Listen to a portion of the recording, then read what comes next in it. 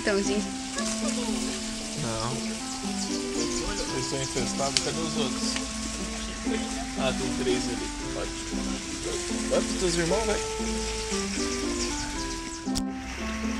Pra evitar que esse bichinho louco se jogue e caia na água, porque é natural que ele vá tentar voar agora. A mãe tá chamando, o filhote grita de lá, daqui. Esse aqui provavelmente eu imagino que seja o que nasceu no primeiro dia, foi o primeiro a nascer. O outro, os outros nasceram nos dias subsequentes.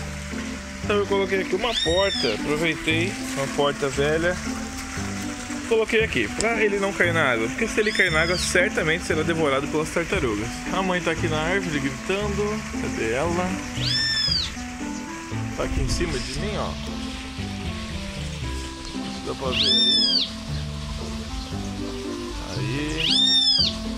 Chamando os filhotes aí pra sair do ninho. E também avisando o risco de eu estar aqui. Risco de predador. E ele já foi capturado aí, como vocês viram ali embaixo.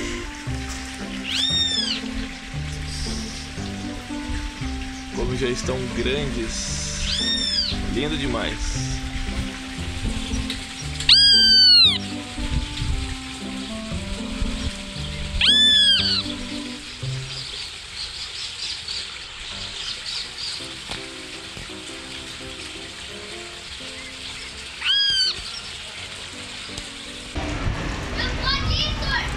Eu posso, vocês não podem.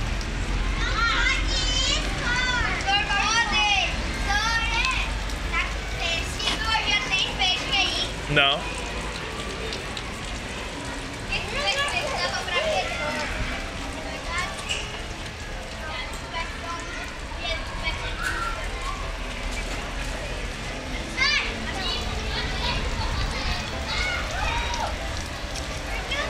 Tem gente lá atrás.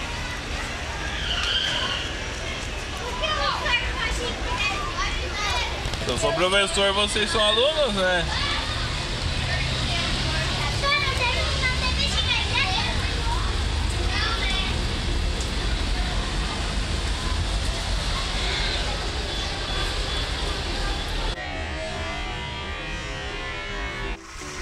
Mas que gambiarra, hein?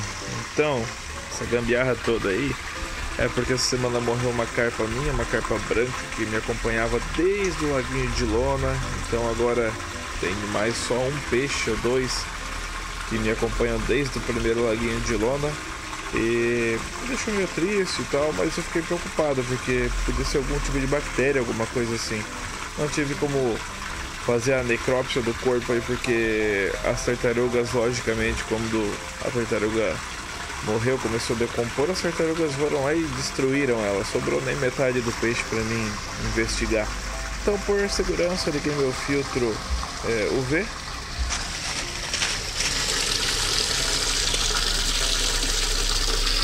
E como a minha cidade é a cidade que deve, deve ser a cidade que mais chove no país, então eu tenho que sempre fazer uma, uma gambiarra por não ter um lugar, um lugar adequado, porque eu não deixo meu filtro ligado direto aqui, eu ligo só quando precisa.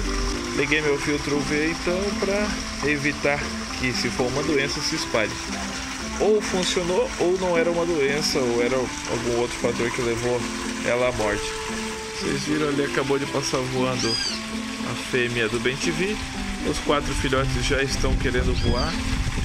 Um deles principalmente, então eu imagino que foi o que chocou primeiro, quando vocês lembram no começo aí que ele chocou primeiro. Ó, ela trouxe o alimento e já foi embora. Então eu coloquei uma porta ali, porque hoje a gente já pegou ele aí na moita. Tem o vídeo aí pra vocês verem. E eu coloquei ele de volta no ninho. Então eu, pra evitar o risco, porque se ele cair na água vai morrer afogado ou a tartaruga vai pegar antes, não sei o que vai acontecer primeiro. Mas as duas coisas vão acontecer.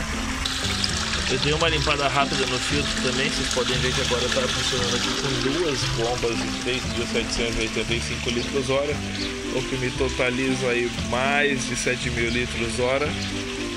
E essa semana também foi adicionada aqui no meu lago uma filomedusa, mais uma. Mas eu acredito que ela já tenha fugido e ido embora, ou, ou esteja muito bem escondida aí no meio.